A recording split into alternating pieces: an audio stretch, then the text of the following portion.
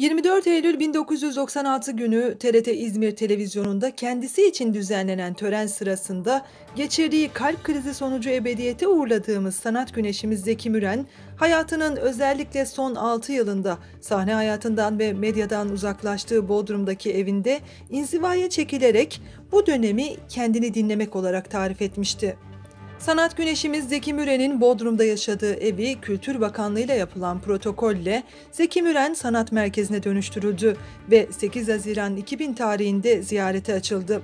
Gelin görün ki Zeki Müren Sanat Müzesi bahçesinde yer alan Zeki Müren'in heykeli ihmal ve bakımsızlıktan adeta dile geliyor ve sorma ne haldeyim diyor.